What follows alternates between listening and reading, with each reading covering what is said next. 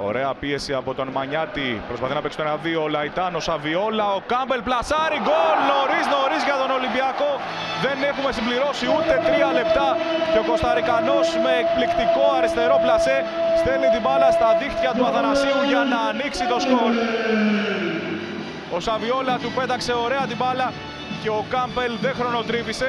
Με τη μία το πλασέ στην απέναντι γωνία είδατε